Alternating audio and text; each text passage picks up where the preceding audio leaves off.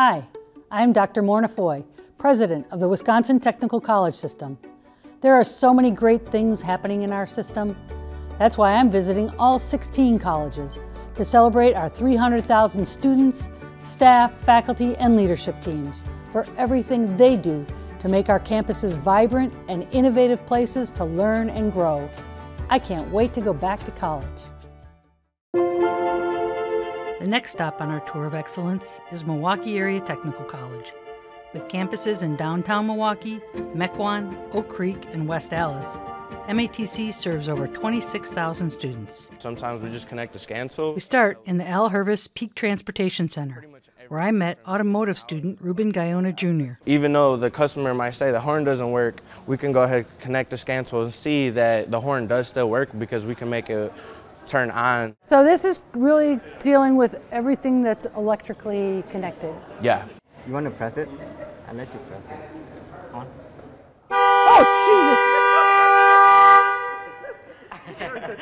You didn't tell me it was going to be like that. Now that I'm fully awake, it's time for Martin Kennedy Jr. to teach me the proper technique for changing a tire. We're gonna uh, use an impact wrench uh, to take the lug nuts off. And the way that we're gonna take this off, we're gonna just gonna go in the star pattern. So we're kind of gonna go from that one to that one, you know, kind of like in star formation. And so, why yeah. do you do that? Uh, just so that uh, to make it, uh, not for one, not to warp the rotors in any way, and to make it so that uh, it's all like a balance. It doesn't uh, tip off on. yeah. Oh, jeez. Oh, there you go. Perfect. See, You're natural at this. So what do you guys want to do with this uh, when you get this uh, credential? What do you want to do Oh, for work? I, I want to be a boss. You want to be a boss? Yeah. yeah I want to be a boss. You yeah. want to be a boss? Of and course, where do you course. think you'll, you'll go right after school?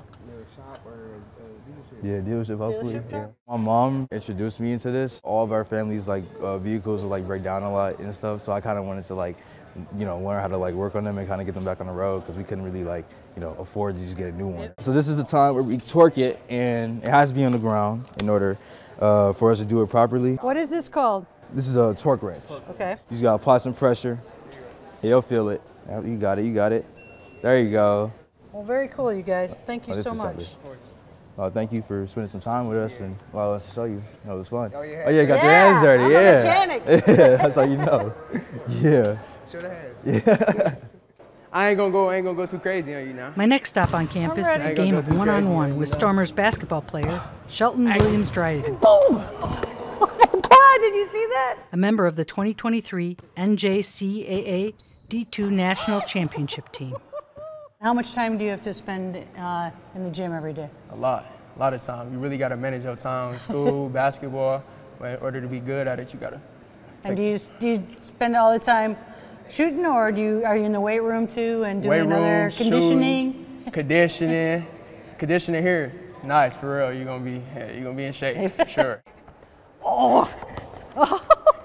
After hoops, I went 1v1 with Lizzie Calixo, who plays soccer and volleyball from MATC and is also heavily involved in student government on campus. That was good. That was good. Thank you for playing me. Do you think the faculty here help you figure out that balance between school and outside activities and sport? Because Oh. that can be really tough. Yes, yes, definitely. I definitely think that the faculty does have a lot to do with that because they help us with study halls. They help us, you know, make sure that we have support. We have free counseling here. We have resources like pantries. We have student life and places that you can work here as a student. And that means a lot because as an athlete, we're dedicated to our sport, but we're also we're we're becoming adults. And and um, technical colleges have the biggest non-traditional um, students. That's the main um, demographic that they hit. So I think it's really it's empowering to have support in different categories for all different types of people in different ages.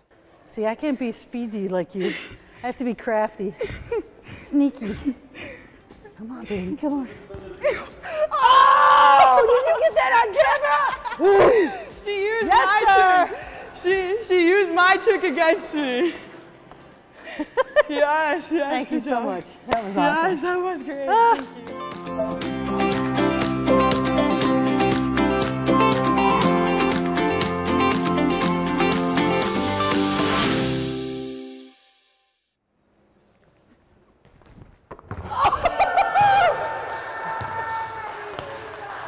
didn't think That's you'd a good actually be pass. able to do it. Oh, that's a good pass. Good pass. That was awesome. Thank you so much, Shelton.